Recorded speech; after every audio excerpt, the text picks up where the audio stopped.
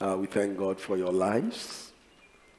And um, I know you are here and you are ready for what God has for us this morning.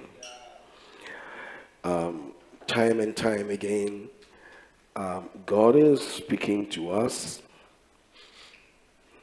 And I want us to pay attention to the things He's saying to us in these days most of the things we're being told, most of the things God is teaching us in these days is how to be really aware of the world we are living in and how easy it is for us to be dragged or taken away from the things of the Lord.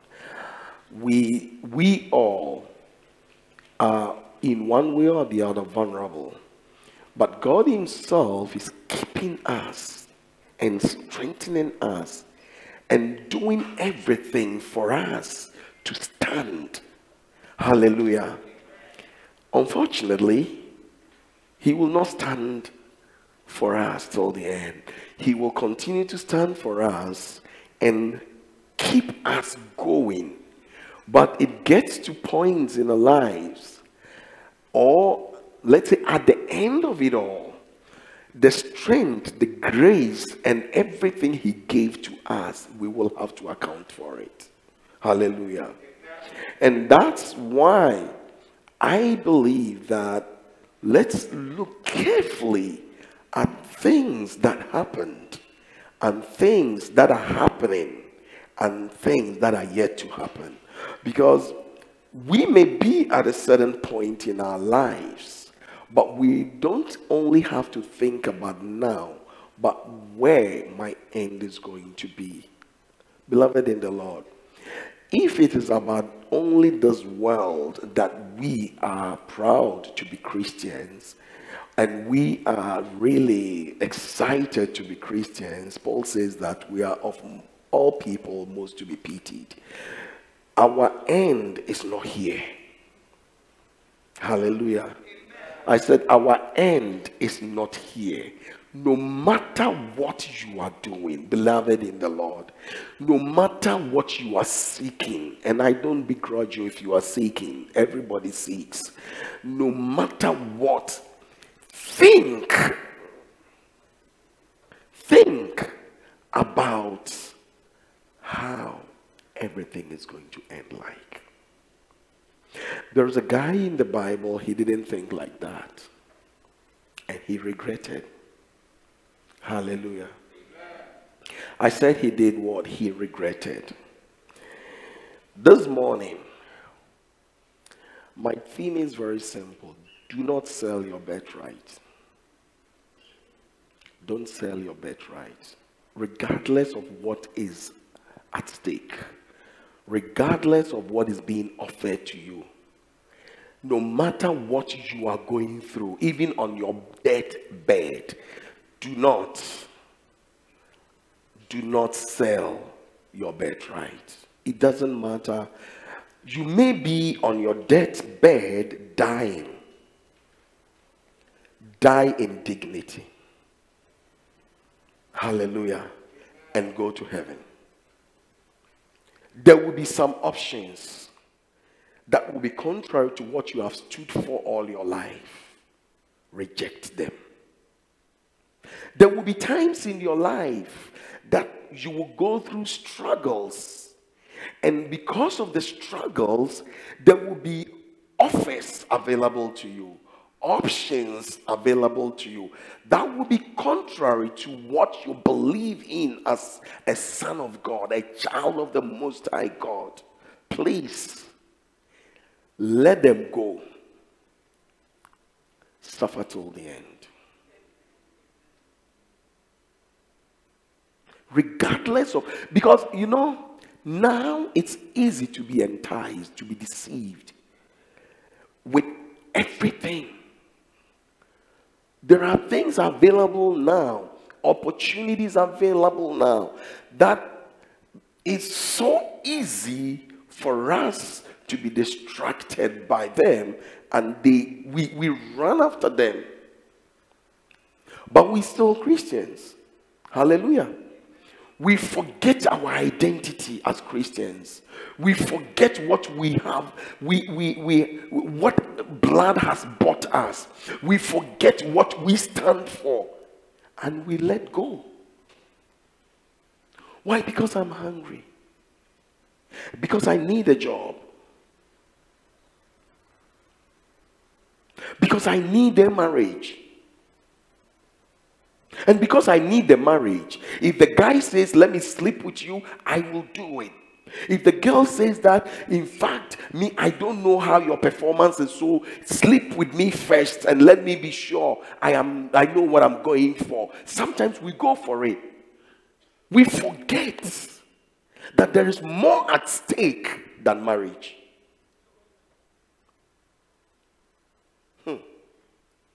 We forget there, there is more at stake than just food on our table. We forget. Hallelujah. And that's why we are here this morning. And we're going to look at a character in the Bible. A very straightforward, simple character. But their birth in itself means a lot. And it panned out in their lives until when the Father had to bless them. Hallelujah. Amen. Beloved in the Lord, do not joke with your birthright. As a Christian, you have a birthright. I'm a child of God. And because I'm a child of God, my birthright is the inheritance of God. Hallelujah. And therefore, I do not have to allow anyone to really deceive me that there is something better than that. And I don't have to really sell my birthright for anything else. Because if I belong to the King of Kings, there is nothing else that can be better than that. The only way I can stand for that is when I indeed know who the King of Kings is and who I am in Him. Hallelujah. Many of us don't know who we are in the Lord. And therefore, we don't cherish what we have in Him. Hallelujah. As a child of God, God is supposed to be the first in your life, in everything that you do. He's supposed to be the first. He says you cannot save, serve any other God. You cannot put any other God before Him. He said, even in your love, love Him first with everything that is within you. God is supposed to be first in everything that you do. Everything, whatever, every decision that you make, make sure that God is first. You see, the truth is that people will deceive you with all kinds of tricks. But you, as a child of God, must know who your father is, what his identity is, and then you hold on to that and walk as bold as you are. If you are the president's son, you are the president's son. As, as long as he remains president, you have privileges. True or false? But worldly presidents, their term will end. But the president or the God that we serve, his term never ends. His term never ends. So if you are his son today, you are his son forever. That is one thing you need to understand. Because if you understand this, I'm telling you, everything, in everything, and in every situation, you know who you are serving. Hallelujah. It is sad that these days, I mean, Christians will say that, yeah, but if I don't do this, what will I eat? What will I have? Will... I mean, when did we forget that He's the provider of all things? When did we forget about that? When in our lives did we come to that point where God is no longer the supplier of all our needs according to his riches in glory in Christ Jesus? Where in our life did we come to that point? When in our lives? Why have we as Christians turned around and made things more important than him? Hallelujah.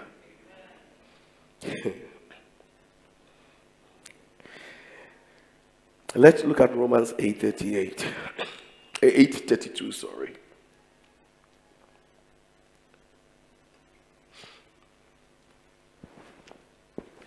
Paul wrote to the Roman church and he said, He who did not spare his own son, but gave him up for us all, how will he not also, along with him, graciously give us all things. Beloved, I'm begging you, I'm pleading with you. I want you to reason with me for a moment. If God will give his only son to, for your benefit, how would he then turn his face and say that when you are in need, he would not supply your need?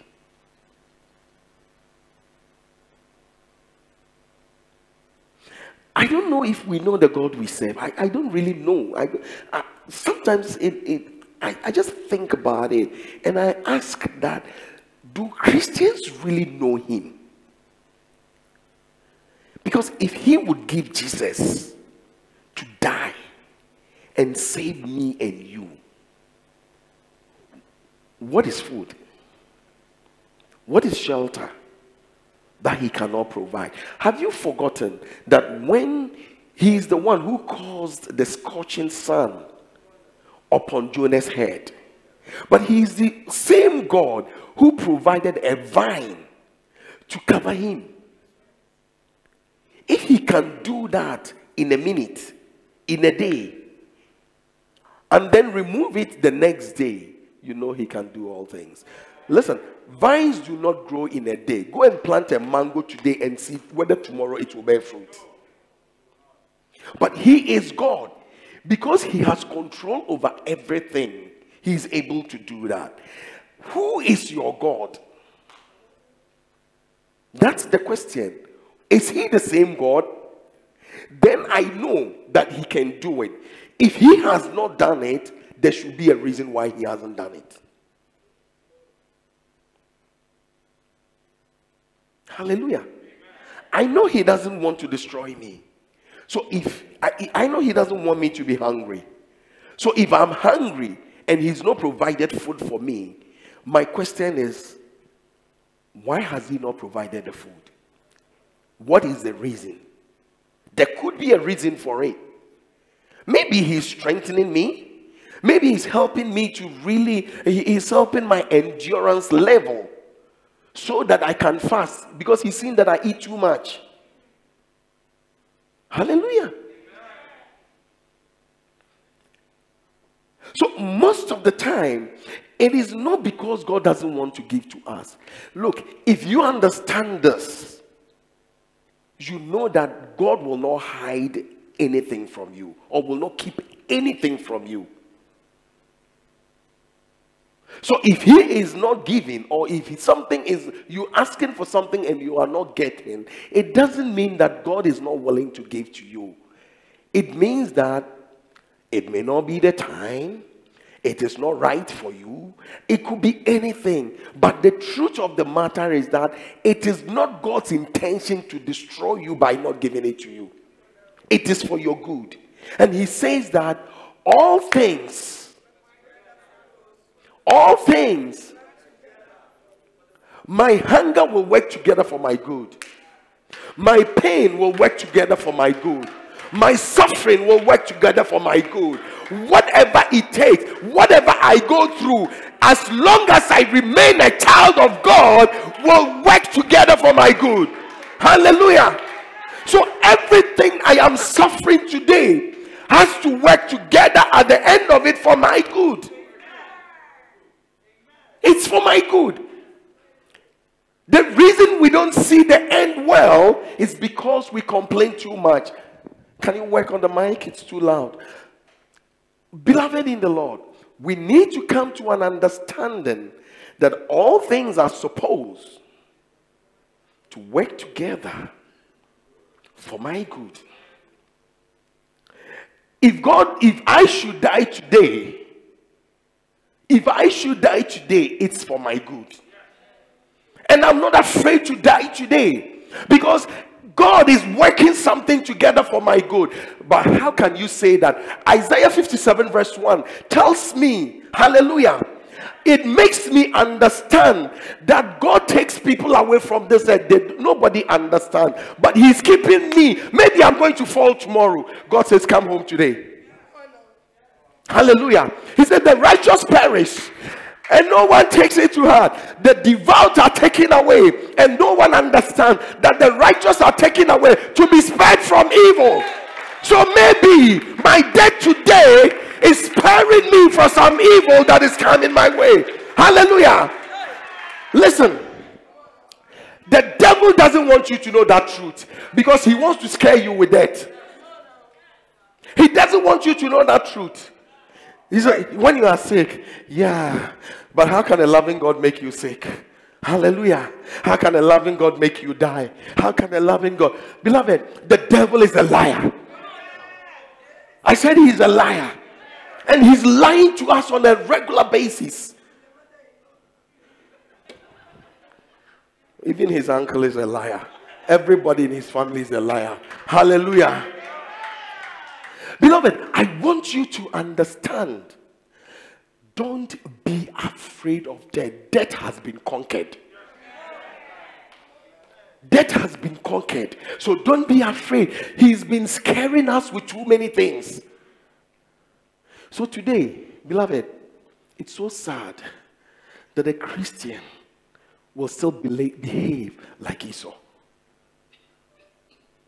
In this day, a Christian can still behave like Esau will say the things that Esau said. Yeah, but if I don't do it, what will I eat? But what about if I die? What about this? What about that? Beloved, God will sustain you. God will keep you. No matter what. No matter what. God intentionally makes some righteous people die. He look, he intentionally comes and take them away. Look, you if I leave you here, the way that girl is tempting you, you fall. Come home. And then people will be crying, Yeah, but God is not good. You, do you know how good God is? He's taking our pastor away. He's taking our prophet away. He's taking our apostle away. Wouldn't him the apostle no face here? If you knew what he was going through, you would thank God that He took him away. Hallelujah. And you know, it's not because of him alone. He takes them away because of the church as well. Because if you, if the, the, the pastor falls into that situation, many of the members will now turn their back on God. In order, listen to me carefully, in order for the people of Nineveh to be saved and the people in the boat to be saved, Jonah has to be thrown overboard. You say the people are wicked, they are not wicked. They are not wicked because if they had not thrown him away, they would have died. Jonah would have died. The boat would have sunk. Nineveh would have been destroyed. Hallelujah. When they threw him into the sea, he repented under the bottom of the sea. Not only under the bottom of the sea, but in the, in the, in the belly. You can call it big cat, big fish, big uh, sea, whatever, whatever you want to, whatever you want to call it. It was in something. Hallelujah. And and he he had to repent in that kind of place. Look, in your life, you have to go through certain things to make you repent. There are, I know people, If they had not gone through what they had gone through, they would never have repented. Uh-huh, I agree with you.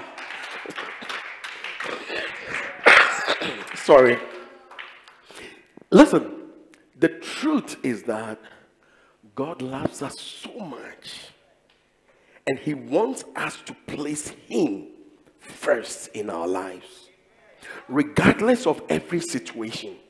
Whether you are sick or strong, make God first. He has the power. You know, one thing that I, I, I still can't, I, I mean, let me say it like this. I'm still concerned about most of us Christians. Listen to me carefully. If Jesus, listen to me carefully, because we don't understand. If Jesus can call a dead man who has been buried for four days from the grave, he doesn't go into the grave, he doesn't touch him. All that he says is he calls his name and he says, Come out. And he walks out. And when you have the grave clothes on you, you can't walk because your legs are tied. So I don't know whether he came like this or he came like this. I don't know because he came with everything. And then God said, Jesus said, him. You see, so he came bound. There is nothing under the sun that can bind you that God cannot set you free. Look, look. It, these are very simple things that unfortunately the devil has really covered them and he's making you seek some he, he, wants you know what what is happening now? The devil has made it uh, so difficult for you to understand the word of god. You need a pastor or a prophet to make acrobatics to tell you something. Then that one you believe. But the simple scripture that is for life you can't believe it I have to put my head down and put my foot up and tell you where your mother's hometown is and your father's hometown is to believe in what I'm going to say. When did it come to that point? I believe in prophecy. Because if I don't believe in prophecy, I don't believe in the Bible. The Bible is prophecy. And I believe in prophets because God uses me to prophesy. So I believe it. If I don't believe it, then I me myself, I'm a liar. But what I'm trying to say is that don't put your faith in what I'm going to say, put your faith in the God that you serve. Because if you continue doing that, you empower me to lie to you. Because I look at your face and you are sad going home because you didn't hear anything. So I have to tell you something. Then you start jumping and dancing. Yeah, I receive. You re- I want you to understand that the things you were looking for are so simple and written down for you. They are there in your Bible. Hallelujah. It is difficult for Christians today to read the Bible but we want to listen to every, oh my goodness. We go to every prayer meeting, but we refuse to go to Bible study. True? Let's say that there's a Bible study class happening over there. You will not go down. But let's say there's a prophet there. How many of us will go? The whole house. The whole house. So, look, they will put, uh, how do you call it? Air conditions, everything, powerful lights, everything in a nice place like this. they will not go down. Let put some kind of canopy in some sand and then put, you know, a water. You know it, Caligo, and then write, "Prophet is in town," and hang it there. The place will be full. When did we start running away from the word of God by chasing people who will say the word of God? When? When did it happen? And why did it happen? And how did it happen? Hallelujah. The most important thing is to know that God is first. That's the key because if you get that right, everything else is going to fall in place. God first. Nothing more, nothing less. Hallelujah. If God is first in your life, you're never going to sell your birthright. You will not. Amen. Let's move on. I, I don't know how many of us believe that God Almighty has caused his son to die for us. And because of that, he's not going to keep any other thing away from us. I don't know how many of us really understand that. Hallelujah. In, in um, Matthew chapter 6, verse 25, he says that Jesus is speaking to the people and he says, You don't have to worry about anything. Hallelujah. He says, Do not worry. Therefore, I tell you, do not worry about your life, what you will eat or drink, or about your body, what you will wear. Is not life more than food, and the body more than clothes? Is not your life, is not your relationship with God better than the food that you will eat or the clothes that you wear. Look, we, we, we are unfortunately now focusing too much on what we wear and what we eat. We are focusing too much on that to the extent that we're being distracted by everything that and you know when we talk about what we eat i am i think for me i'm talking directly about the cares of this world. Because it's not only about food but it's about the money in your pocket. It's about the car you want to drive. It's about the position you want to hold in this nation. It's about how big you want to be. It's about how look but all these things are not taking you anywhere. They are temporal. You will leave them one day. My, my mission here is not to really preach to you about what you can have here. My responsibility is to let you understand that there is a place to be or a place to go after here.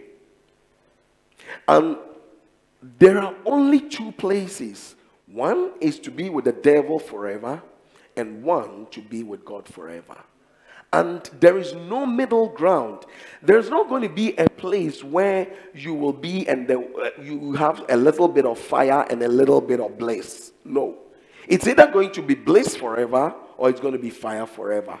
You have, and the choice has to be made today. When you die, Bible says it is appointed unto man once to die. After that, so after you die, there is nothing else you can do. So don't wait. And unfortunately, I don't know when you are going to die. In fact, I don't know when I'm going to die. If I don't know when I'm going to die, I don't know when you are going to die. And even the worst part is that I don't know when Jesus is coming. I may be very strong, but he may come today. I, I may not, I mean, like None of you look sick and weak, but Jesus can come today. None of you looks like they're going to die tomorrow, but Jesus can come today. The question you need to ask yourself is when he comes, am I ready? Hallelujah. Unfortunately, because we don't think about that, we rushing and we just trying to get everything. Jesus is saying, Seek me first, and I'll provide the rest. We say, Jesus, you are taking too long, so we can do it by ourselves. But the truth of the matter is that I'm telling you, beloved, none of us sitting here this morning can do it by ourselves. If we can do it by ourselves, we don't need Jesus. If we can do it by ourselves, we don't need to come to church. If we can do it by ourselves, we don't need the Bible. We can't. There is no way we can. That is why we need Him. And that is why we ought to be obedient to Him. Beloved, look, I'm not scaring you, but I'm telling you that it's scarier than whatever I can say. If you have an idea about what hell looks like, you will never dread going there. Don't let some food that you will eat deceive you. Better to go hungry and die even in your hunger and go to heaven than to be filled with the devil's meal and end up in hell. Hallelujah. This is not your popular teaching. I know it's not your popular teaching, but it doesn't really matter. It's what your soul needs. It is what your soul needs. Hallelujah. Paul said in 1 Corinthians chapter 6, verse 13a. I just want the A. He says, Food for the stomach and stomach for food. You say food for the stomach and the stomach for food, and God will destroy them both. He will destroy the food and the stomach that took the food. So, listen, if God is going to destroy like that, why are you so eager to feel it?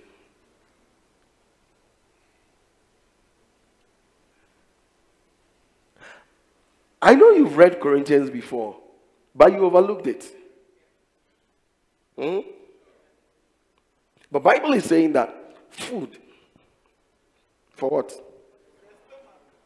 And the stomach for what? But both of them will go to heaven. Both of them. Why do you pay attention to something that is going to be destroyed? asɛm wɔ sɛ asɛm o asɛm na na meka kyerɛ no I can't, you know, the truth is that we cannot pretend as if everything is okay. It's not.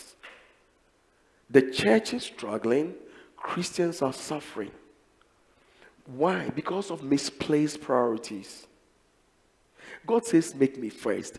How many of us in church today, sitting here today, can say to ourselves that God is first in our lives? How many of us? Even as we sit here right now, listen to me.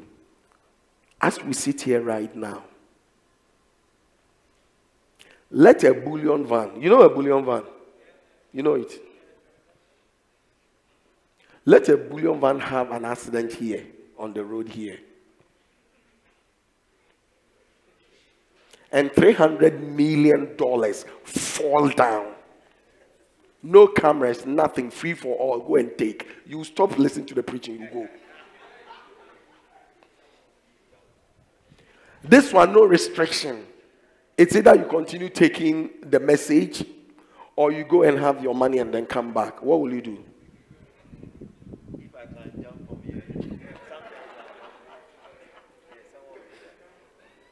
You jump.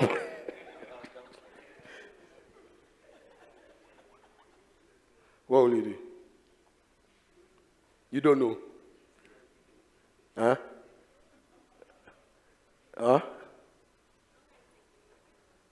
You, you won't go for the money. You don't want money. This one is free.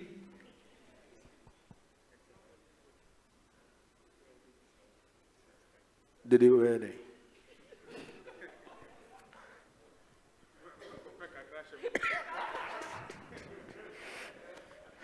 Everybody will say, Apostle, please.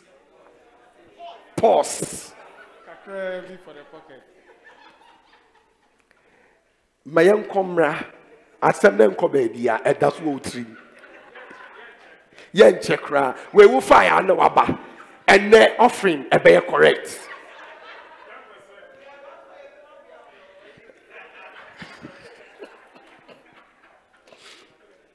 Hallelujah. No that's the reality today. Yeah man, I agree. that's the reality. So this, this may be very graphic, but there are other subtle ways that is happening to us. Let me, where are the students? Stand up. We know some more university. Sorry. You're going to write your exam, your final exam. And you need that paper to make it. Your, your, your dad has not paid your fees. And suddenly they said, if you don't pay, you won't write.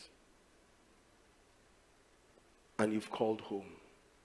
No help is coming. You're a young woman. Nice.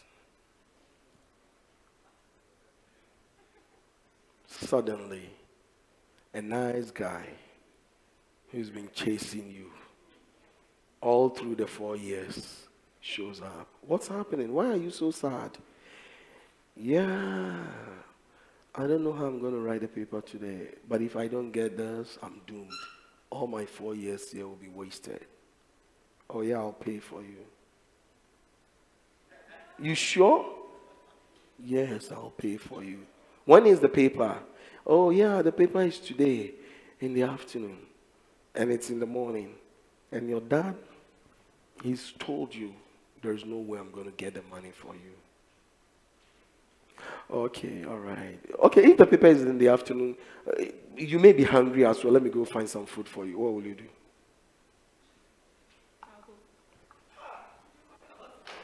That's the reality. You see, beloved, sometimes we pretend as if we are superhuman beings. Until, until you get to that point. That is when you know the reality of, of life. And that is why I want you to begin from today to prepare your mind so you can say no. So you can say with Shadrach, Meshach, and Abednego, it doesn't matter. If I don't write this exam and that's the end of my life, so be it. God has the power to provide that money. And even if he doesn't provide, and I don't write this exam, this exam must not define my life. Do you know what? Because we have just by our own standards made certain things in life define who we are. You are not what you have. Bible says that life does not I mean depend on the abundance of your possessions not your certificates, not who you are married to, not how many cars you have. No. No. But if you don't prepare your mind today, you will say yes. You will sit in that car. You will go for that lunch. In fact, it's not only school fees you're going to get.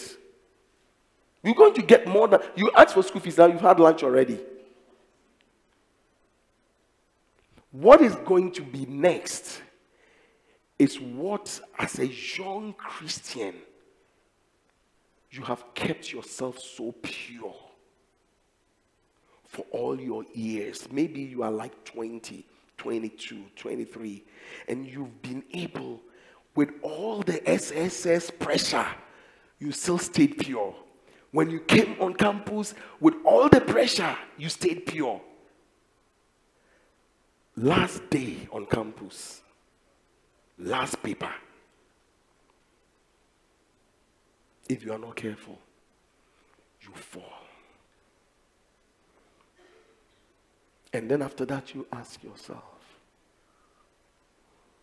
why did God fail me? He didn't fail you. His plans for you are greater than what you are thinking. Maybe that paper. Look, there could be many options that could have happened. You could go to the hall and they will allow you to write, regardless. Regardless of whether you are paid or not you can have an anonymous person paying for your fees. Look, you can even have your lecturer put his own money on the line for you because he knows how good you are. Anything can happen. Don't give up on God because he will never give up on you. Don't get at any point in your life and say that God has abandoned me, so I'm looking for another option. As long that uh, that option is not godly, don't go for it. They said, Look, we know God can save us from this fire. But it doesn't matter. Even if He doesn't save us, we know the Word of God so much so that we are not going to bow to any other God, regardless of the, I mean, the consequence fire. That's fine. We can go into the fire. God can save us. But if God doesn't save us and He will look on for us to be burned alive, that's fine. But we are not willing. It is only those who know their God. It is only those who know their God who make such decisions. You know, the reason most of the time we give up we give up at the last minute is because we don't know our God. Peter, Paul, Silas, they were all put in prison. But God rescued them. He rescued them. They were not afraid of prison.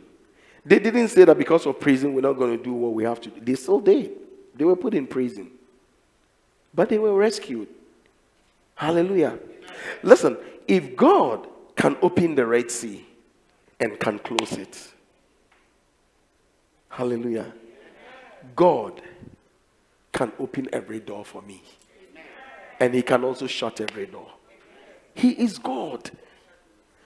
Who do you see Him to be? Who do you know Him to be? Who is He to you?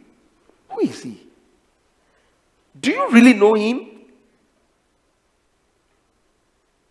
Do you really, really know him? Because if you do know him, beloved, we will be better people than we are now. We will not go for the options we go for. It's simply because we don't know him. Hallelujah. Let me, let me, you can sit down. I, I just want to end um, this morning. Let's go to um, my key scripture for this morning in uh, Genesis 25, 29 to 34.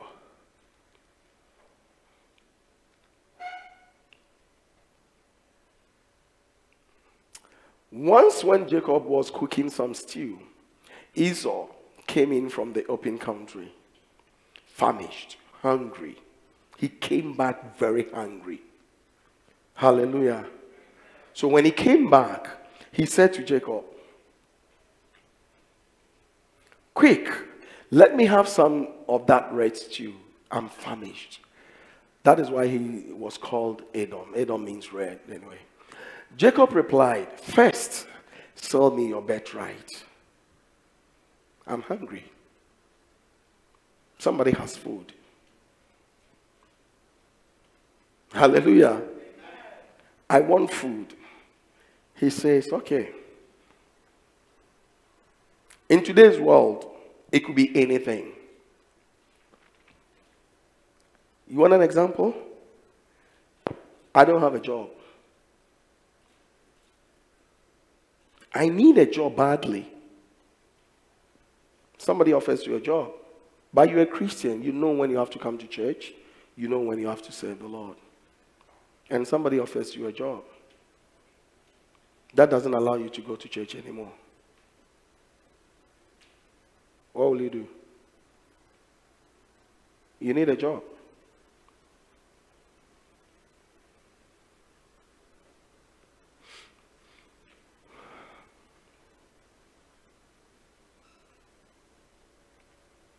What are you going to do?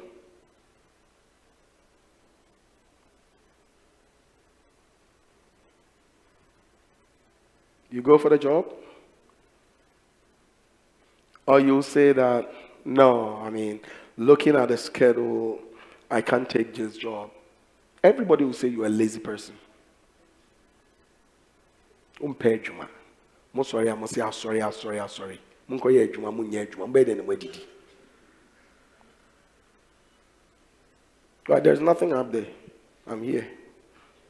She's just going like. she looks at the ceiling and shakes her head. What's there's just one on the ceiling. Look at me and shake your head.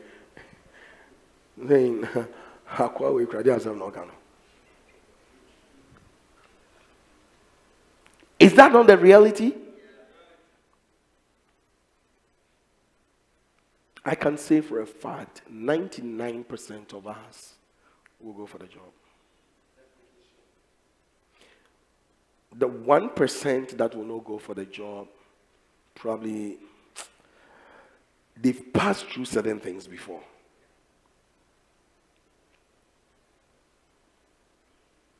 Now, how many of us have blamed Esau?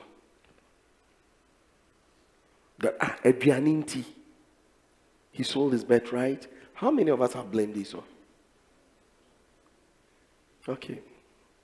How many of us from this morning blame ourselves? Because if you blame Esau, who is worse? Esau never had an example, you have one.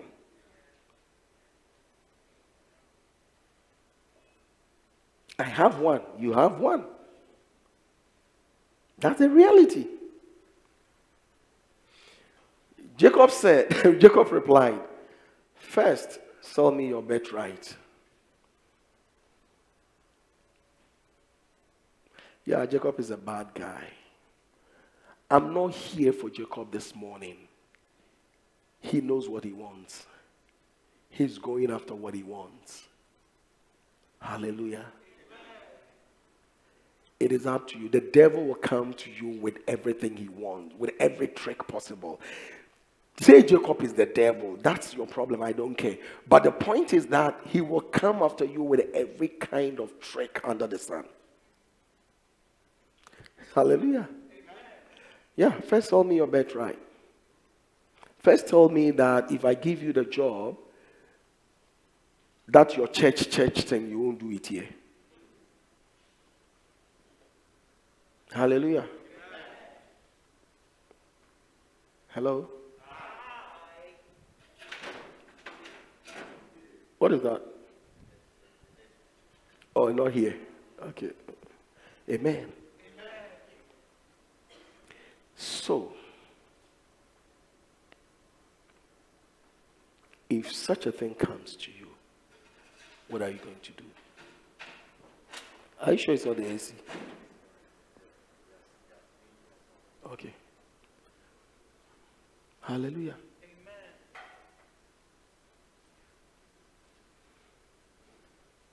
First, sell me your birthright.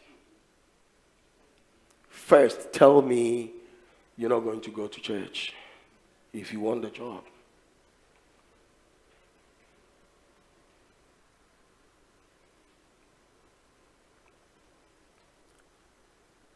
Amen. Next verse.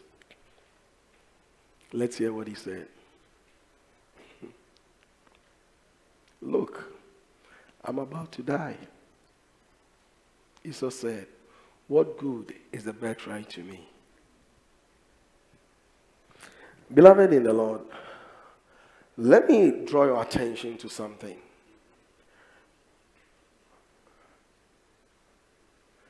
Do you know that Isaac was alive?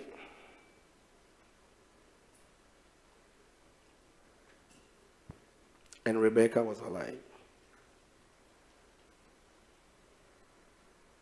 Hallelujah.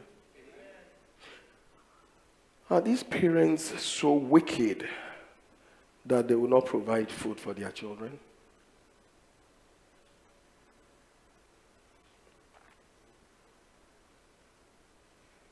Sometimes it is not just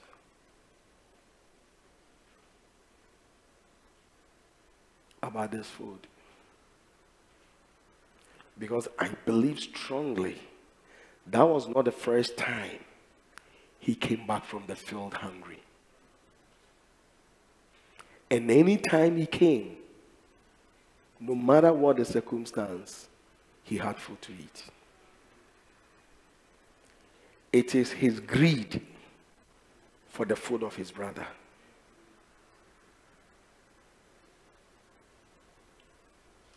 Still be wɔ hɔ ah, by force wopɛ sɛ ɔgye Look, when we were kids, your mother would say, Don't eat this food from this place. But since it's too far you forget what your mother said.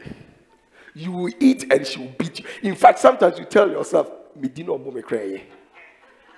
Even if I eat this and she will beat me, I will I'll take the beating afterwards. But as for this food, I want to eat. It's the same thing. Look, he could have had options. The truth is that he had some greed for that food, number one. Number two, watch it closely. He did not respect his birthright. Some of us don't respect the fact that we are Christians, we don't cherish it. Look, let me tell you something. Cherish your identity as a Christian because it didn't come cheap. You see, this is this is the key. We thought because we just opened our mouth to say something, we are Christians and that is it. Someone had to die shed his blood so that you can say those things. Because if he had not died, it doesn't matter what you have said, it doesn't matter what you would have done, you wouldn't have had salvation. So, anytime, anytime you taking your identity as a Christian for granted, think about what Jesus did. That is why in Hebrews chapter 10, it talks about the fact, from 26 going, it talks about the fact that when you do certain things, you are trampling on the blood. He says it in chapter, I think, 6, and he takes, says it again in chapter, no, no, I mean, go down. Sorry. Go, go down. I mean, I think it's uh, a very uh, 30, 30 or something like that. Yeah.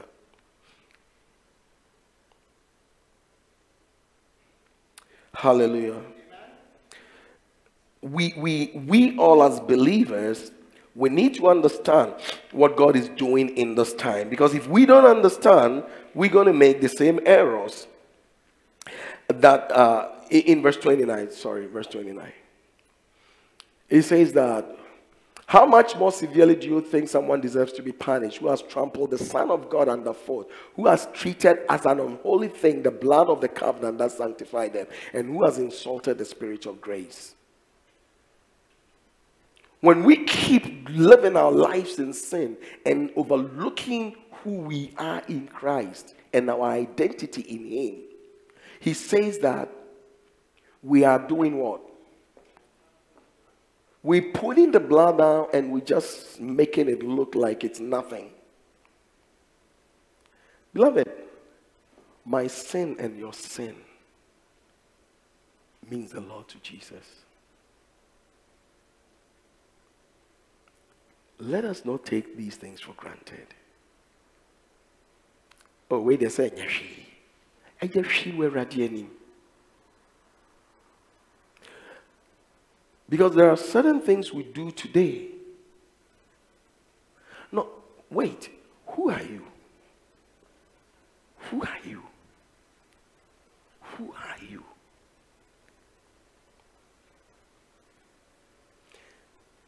If you are the son of the president,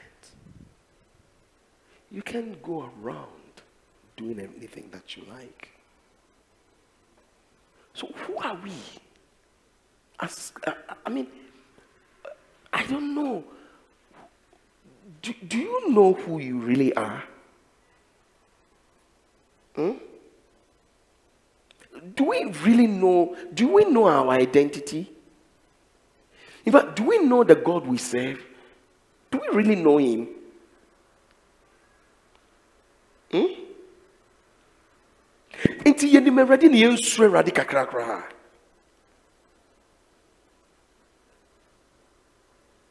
Do we do we know him? That's what i want to know. Do we beloved do we know him? Wonim no na wonim sɛnea wankasa. Do you know your identity as a child of god? Do you know where he's lifted you up to? You are not ordinary oh. hallelujah I think we don't know who we are. We, we don't know who we are in Christ. Because if we know who we are in Christ, we will not live the lives we live. We will not do the things we do. Who are we? Who are you?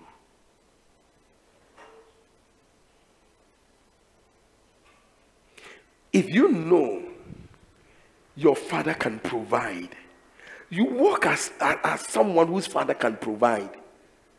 You don't go begging when you know your father can provide. How many of us will go begging when we know that our father is able to provide what we need? Hallelujah. Let me ask you a simple you, you have you have children. Yeah, stand up. Let me ask you a question. Can you give her the mic?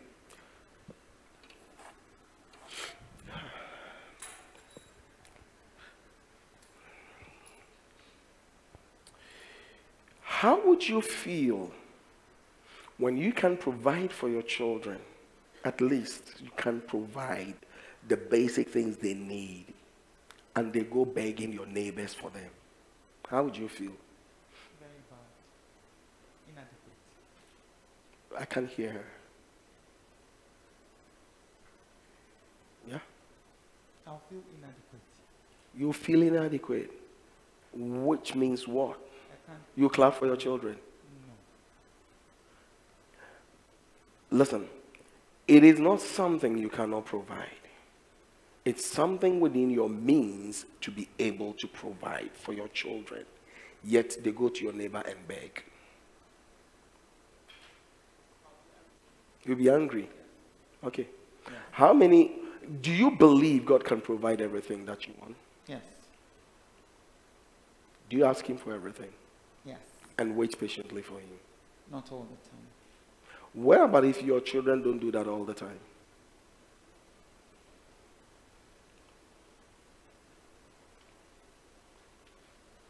Hmm? You're a parent. He's a parent. He's our father. So he's a parent, just like, like you are. You get offended. You get angry at your children. How do you want him to feel?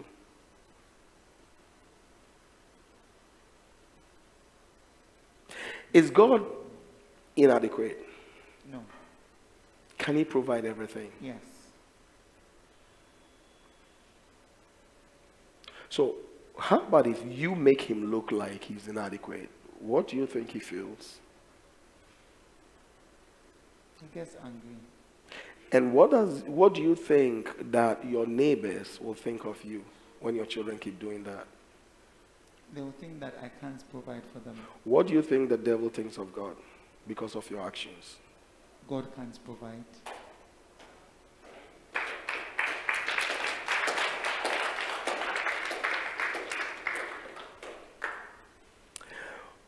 I want us to understand this morning that every action and every decision that we make on earth has a kind of repercussion in heaven. You want proof? Job.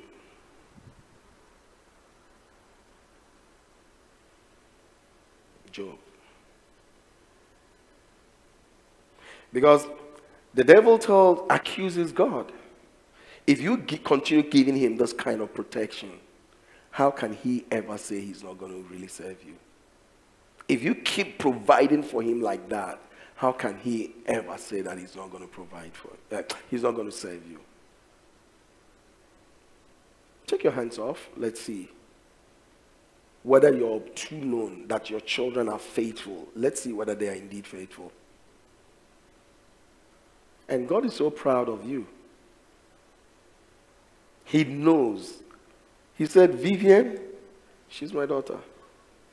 And I know who she is. Satan, go ahead.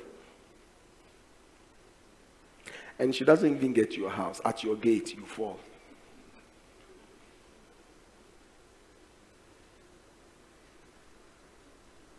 How would how, let, me let me let me do this. How would you feel when you know your kids have been really, I mean, trained in such a way that they will not fail you? And you make, you talk about them when you are with your friends and colleagues, you talk about them. And the very things that you said about them in their presence, they just mess up miserably. How would you feel? Devastated.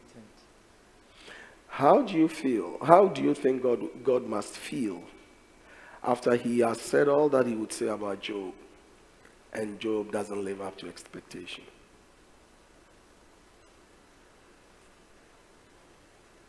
Do you realize that God has emotions? Do you know how we grieve the Holy Spirit? This is one of the ways we grieve the Holy Spirit. He's there to protect us. And he says, You're going to sin. How many of us know that when we are going to sin, most of the time, God prompts us through his Holy Spirit? And we still go ahead and sin. How do you think he feels? Grieved. And Bible says, Do not grieve him.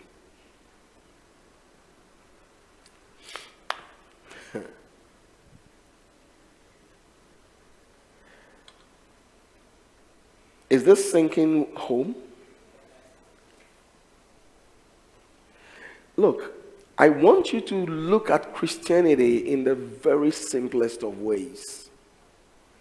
Just put your life on the line and say, Jesus, regardless of whatever comes, whether I'm famished or not, I respect my identity. I won't belittle my birthright. I wouldn't say it doesn't mean anything. You know, sometimes when in doing this, we forget that we're going to stand before Him one day. Amen. Let me let me sit down. Let me let me finish. Can we go back to uh, twenty um, Genesis twenty five?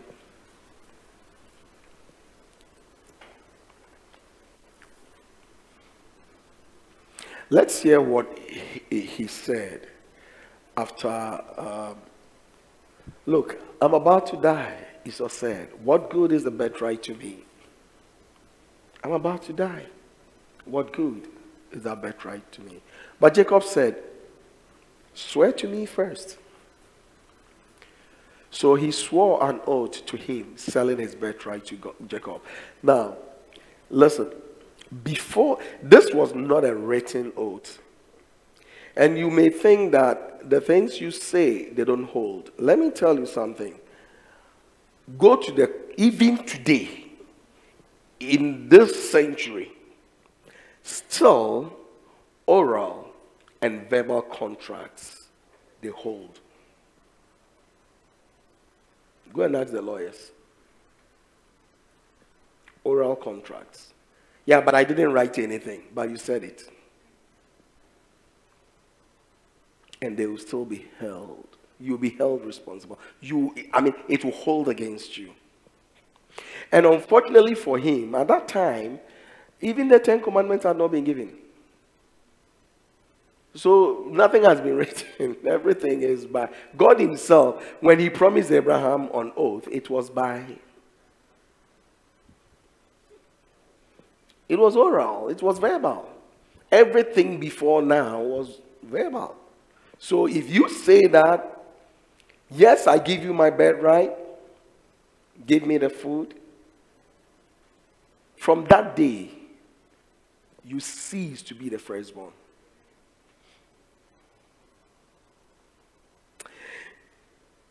I'm not here to talk about whether you can lose your salvation or not. That's not what I'm doing this morning. But I want you to pay attention to certain things in the Bible because we, we pretend as if God has changed. He's not changed. He's not. Hallelujah.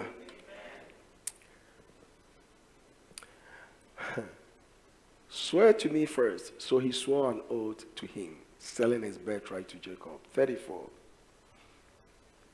Then Jacob gave Esau some bread and some lentil stew. He ate it. You know, Jacob is so wise. The devil behaves in the same way. Hallelujah. You know, the first when I when I spoke about the exam and things, what did you need? Only your school fees, but you had lunch as well. Amen. And even the money, you will definitely have more than the school fees. He asked for stew, but he got something else. Hallelujah. He, he will make it look nice. And he will make you praise him. Ah, Jacob will cry, good. I asked for stew, but he's giving me bread too. He's forgotten that he's lost something crucial, something spiritual, something that can only be had when God gave, gives it to you. You don't decide who should be born first. Hallelujah. God decides. So if God brought you out first, it's for a reason. And you don't respect it, you lose it. Hallelujah. So he lost it. Bible says he ate and drank and then got up and left. So Esau despised his birthright. Where did you want me? That's the. I mean, I don't care about it. I, I needed a job. I've gotten a job. Yeah, we've forgotten the consequences. It comes with something. Hallelujah. And he did not know that because of this, he's going to lose the father's blessing until the day the father was about to die. He forgot what he had done. You can, hey, you can say everything you want about Rebecca. I don't care. The guy doesn't deserve it. He's no longer the firstborn. He sold it. He doesn't deserve the father's blessing. Hallelujah. You can, hey, the, uh, whatever, Rebecca can be a cheat. He, she, she can be whatever you wanted to call her. That's for another day. The point is that that guy doesn't deserve the birthright. He doesn't deserve the blessing because he sold it. If you sold it, you sold it. How many? You see, you can go to all night 100 years. You've lost it all along. You've lost it. You are crying. Your tears are falling on rocks and it's go, washing away. It's not doing anything. You lost it when you really did what you did. And you did not repent. This guy never repented. We do certain things and we think that's the end of the story. No, repent. If you don't repent, you can cry as much as you want. Hallelujah. Go to Hebrews. Let me show you what happened, what Hebrews says about this incident and when the blessing was ready.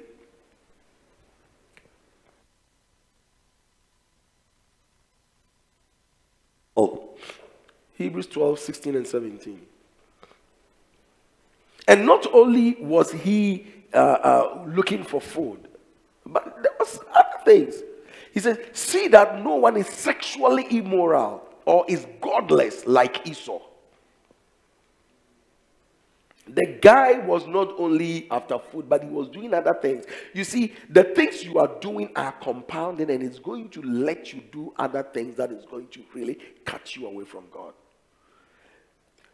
See that no one is sexually immoral or is godless like Esau, who for a single meal, my goodness, a single meal, one meal, one meal, one meal. How many of us are selling our bed rights for 100 cedis? For something small. For one meal. Who for a single meal sold his inheritance rights as the eldest son? 17. Afterward, as you know, and as I know, when he wanted to inherit his, this blessing, he was rejected. Even though he went to his father after he had made a meal, he said, Oh, but Jacob has come for it. No, father, um, no, please, please. The father didn't know what had happened, but God knew. The father didn't know because this guy never told his father what he had done. And do you think Jacob is going to say it? He will say it. But divinely, by, by, by the uh, uh, by the by, by spiritual uh, uh, uh, what has happened in the spiritual atmosphere has been sealed. So in heaven, by his own words, he has said, I don't need it. And because you don't need it, you've lost it. And because he's lost it, whether Jacob gets it by what means, God is watching. Do you think God was asleep when Jacob was doing it? Jacob and his mother were doing what they were doing. God was not asleep. Do you think God is weak not to have turned things around? Huh? No, I'm asking you. Look, let me show you something. If God decides to do something, even through the blind Jacob, hallelujah. When he decided to bless Joseph's sons, he went like this. Joseph said, No, that's not the that's not the case. Do this. He said, Jacob, Joseph tried to move the father's hand. He said, I know what I'm doing. Shut up. The fact that I'm blind doesn't mean I don't have a brain. I'm blind. I don't see. But I have eyes, spiritual eyes that can see that this one will be bigger than this one. Hallelujah. God knows. Look, don't think God is asleep. God knows who is going to make you. Let everyone think that you are not the person. If God decides you are, you will be. If you only will respect what God had given to you. Unfortunately, many of us, we don't respect the identity we have. We say we are Christians, but we don't really respect our identity. So we walk around and we make people make mockery of Christianity. Today, or yesterday, or yeah, yesterday, the head of Trinity, he was one year ahead of me in secondary school. The head of Trinity. And yesterday, he's, he was saying it, he said that today, we have made Christianity become nuisance because of our actions, because of the things we do, because of the things we say, because of what is going on around us. How can we say we serve a God who can provide everything? We serve a God who created the heavens and the earth. Yet we go to unbelievers and beg for 100 cedis. How? How can we reconcile that? How can we reconcile that? Tell me. Tell me, where is your identity? Who are you? Who are you? We've sold our birthright. We don't believe in the God we serve, and we don't trust Him.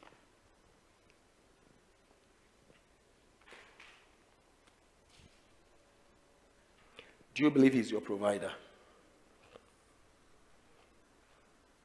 Is He your only source that you go to?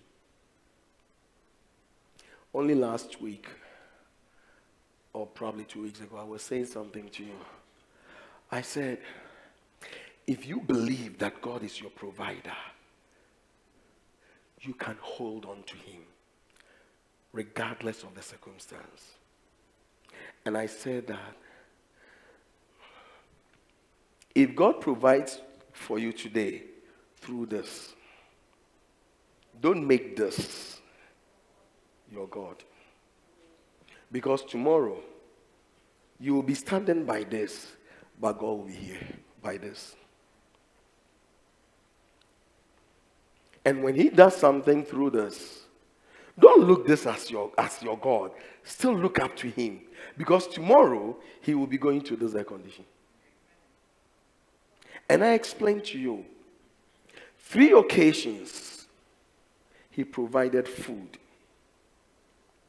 for Elijah one by ravens, two by angel, and three by a widow. Who provided? Did he only provide through an angel? So if God, if if if uh, if uh, Elijah said, "Yeah, when I was hungry, God made a raven provide for me." So now he begins to pray, "Raven, bring God's food. Raven, bring God's food." And God sent an angel. No, no, no. It's a raven I'm waiting for. Raven, bring. The raven is not hearing you. And because you are waiting for a raven, even when God is bringing an angel, you don't see. Go to God and say, God, you provided for me yesterday. I don't care how it came, but today I want to see your hand again. If he's going to come by angel, oh, if he's going to come by who, oh, that's not my business. My business is that you are my provider. He is your only source. None of us as Christians have two sources. We have only one. Only one. And that one source, beloved, is because of your identity, your birthright. Don't sell it for anything. Don't let that birthright go for anything. Let me tell you, many of us are sitting here this morning, and one way or the other, we blame God that God has not provided. It's not about God, it's about us. Some of us have sold our birthright. So, what we are asking God is not going to come because we've sold our birthright. Bible says Esau, afterward, as you know, when he wanted to inherit this blessing, he was rejected, even though he sought the blessing with tears. Listen, something that he was not supposed to cry for it, ask for it, do anything. The, listen, beloved in the Lord, when the time for the blessing came, did Esau go to his father to ask him for blessing? Who called who? The father called him. And he said, Go kill an animal for me, make me stew for me, let me eat, and then you take your blessing. Esau didn't have to go ask for it. But the father didn't know that that birthright has been sold already. So many people, eh, yeah, but Jacob was bad. He can be bad. But the point I'm making to you this morning is that Esau did not deserve the blessing. No matter how you look at it, he sold it. And heaven approved it. Once he sold it, you've sold it. And he did it under oath. He didn't just say it, he swore before God. And God was listening. Isaac was asleep. Isaac was not around, but God was there because he they called on the name of the Lord. They don't swear just like that. They swore by God. So God was hearing. They didn't call Isaac. When that oath was made, it wasn't made in the name of Isaac. So Isaac was not part of the deal. God was part of the deal. And when he said it, and God said, okay, fine, it was sealed. It was sealed. Maybe if he had repented, God would have considered him. I don't know. But the truth is that he did not. So many of us are sitting here this morning and the problem is not God, the problem is us. We've sold our birthright and we are still crying. Even though he sought the blessing with tears, he could not change what he had done. You will not be able to change what you have done. Has God abandoned me forever? No. If you can repent this morning, he will restore you. If you can go back to Him. But don't say it with your mouth, just with your mouth. Let it come out of your heart. Go to God and tell Him, I'm sorry. I'm sorry. I didn't trust you. Hallelujah. I didn't trust you. Look, the actions, your actions today will determine your future. And certain things you've done today, they are ahead of you. He sold his birthright some years ago, but when he got to the time of the blessing, he lost it. His actions yesterday determined his future. We are going to pray. These are not the times that you, you it, this is a time that it has to come from here. You have to open your heart this morning. Where do you stand? Are you in right standing with God? Are you in right standing with God? Maybe it's because you've sold your birthright. That's why you've been crying, but nothing is happening. There's an opportunity. For he says that if we confess our sins, he's faithful and just to forgive us and cleanse us of all unrighteousness. Beloved, let not this world and the desires that you have for the things of the world determine your future. Make a decision today that Jesus, I'm all for you. Make a decision today that I repent of all that I've done, selling my birthright. I didn't trust you as my God. I thought you would not be able to provide. Sometimes we think it's taking too long. And because of that, we sold our birthright and went for something else. No excuse or tears could save Esau. You can give excuses as much as you want. Yeah, but at that time it was hard. That's it wouldn't be accepted. I just want you to understand it will not be accepted. Yeah, by that time my father was dead and I didn't have anybody to help me. That wouldn't be accepted. If your father is dead. God is not dead. If you trust Him, He will come through for you. This morning, search through your heart. Go deep into your heart. Go deep into your heart and call on Him and Him alone. Let Him know that you repent. Tell Him, Lord, I want to start this life again. I want to start it afresh. It's tough, it's difficult. I've made errors, I've made mistakes. But I don't want to live my life like this any longer. Let's be upstanding.